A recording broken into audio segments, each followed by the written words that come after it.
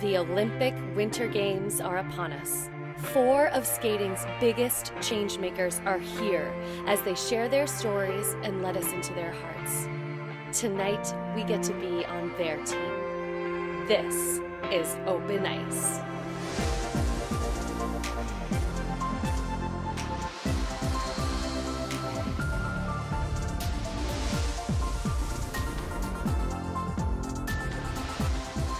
Journey is not an easy one, but I'll be here.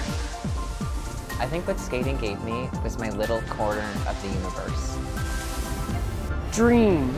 Dare to dream.